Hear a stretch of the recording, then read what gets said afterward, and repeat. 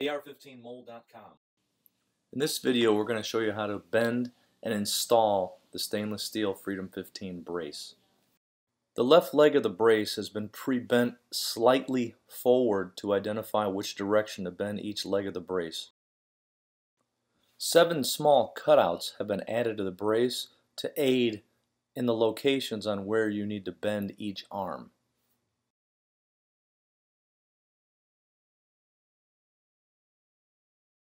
This is what the final brace should look like once it's bent. Notice that the two top arms bend in and then flare back out. Your finished brace doesn't have to look exactly like this one. However, it should look similar and fit the mold. Look closely at how the two arms flare in and then flare out. This is the contour you're trying to match.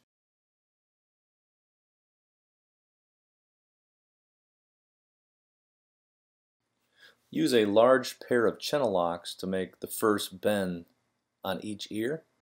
The first bend on the top two legs will move the legs past the center line of the buffer tube. Be sure that as you're bending each of the legs, you keep them in sync. That way they match up with each other.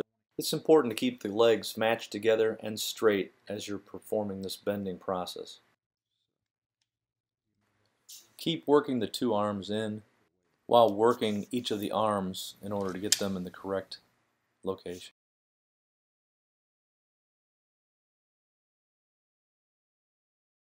Use your channel locks to flare the arms back out at the two red circled areas.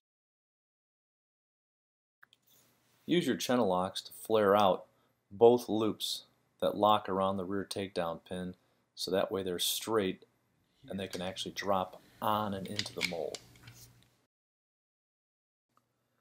Using a regular set of pliers might make this step a little bit easier. But what you're trying to do is literally bend these two arms back in and flare out the piece that goes around the rear takedown pin.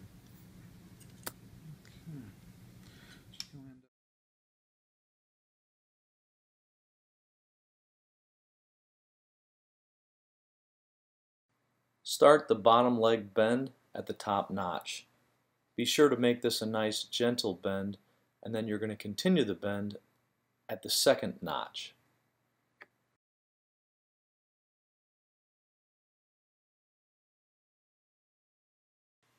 Continue the bend at the second notch.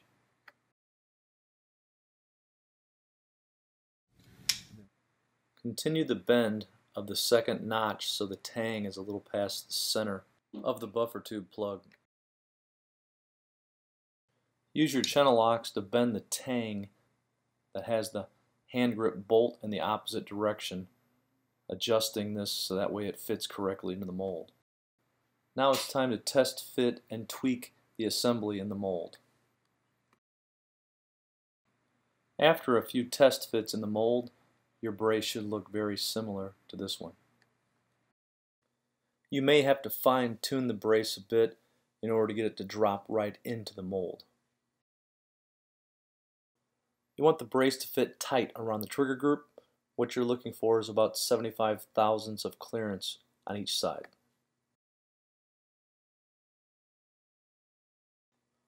Be sure to screw the bolt into the brace so that way the brace lies flat in the mold.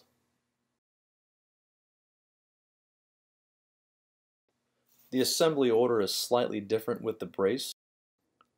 Everything is installed in the right hand side of the brace except for the trigger group, the buffer plug, and the pin.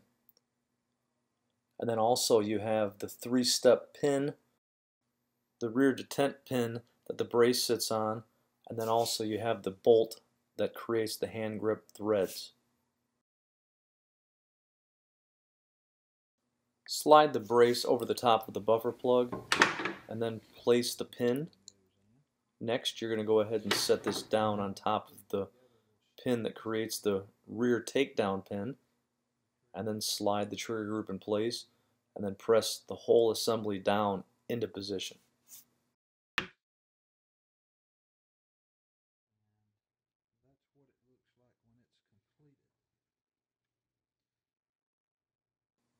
The two completed halves are now ready to be assembled together. Be sure to remove the fill plug before assembling. Pick up the two halves and carefully snap together while trying not to unseat any of the parts. After you have snapped the two halves together and none of the parts have come unseated, you're ready to bolt the mold together with the four bolts and make your pour. Don't forget to apply silicone to the mold halves before you snap them together.